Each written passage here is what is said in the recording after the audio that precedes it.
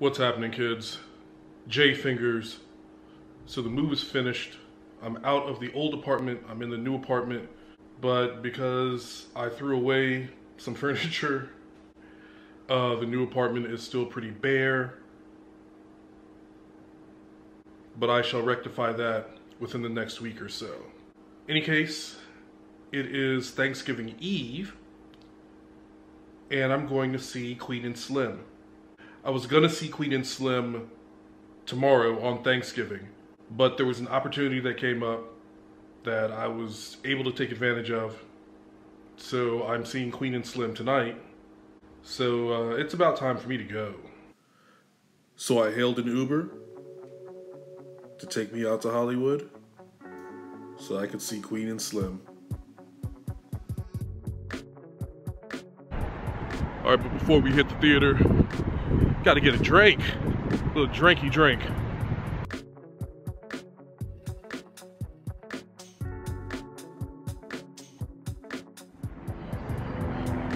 Ended up stopping at uh, Elbow Room, had a drink over there pre-game. Now it's time to catch this movie, baby. Queen and Slim, baby.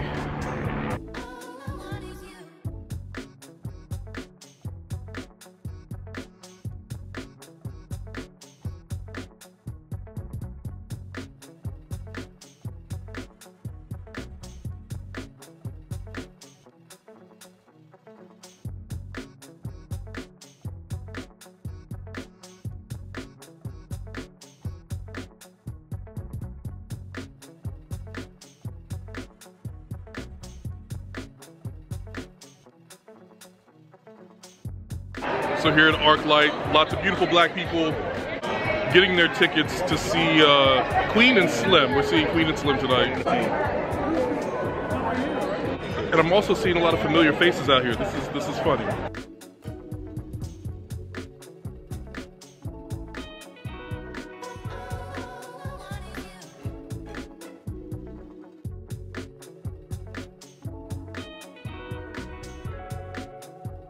There's a lot of what I'll say um, aspirational black Hollywood here, which is cool, very cool. But I need two things. I need a beverage and I need a snack.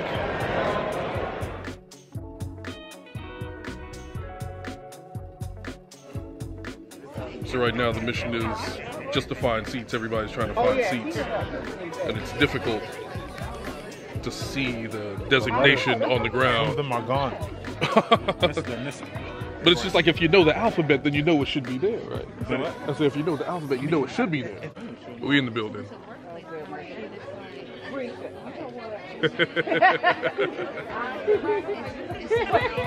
Looking forward to this. Queen and Slim, yeah.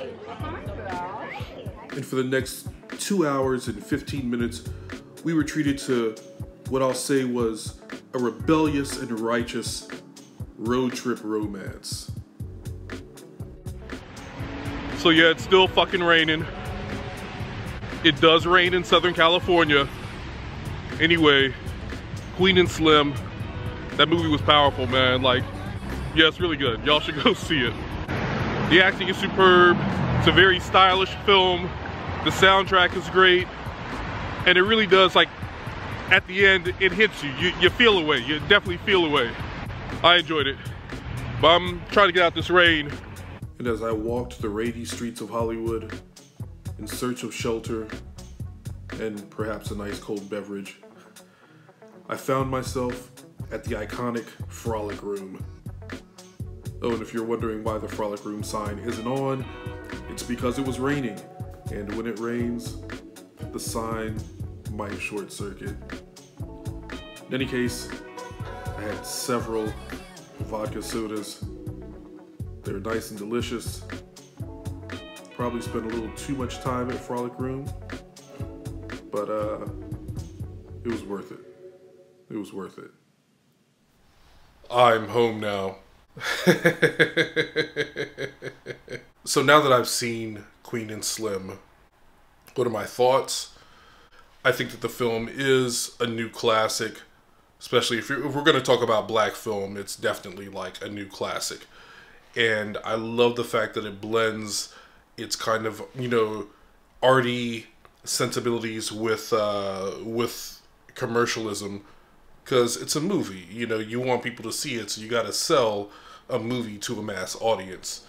And I think that it blends those two kind of sensibilities very well.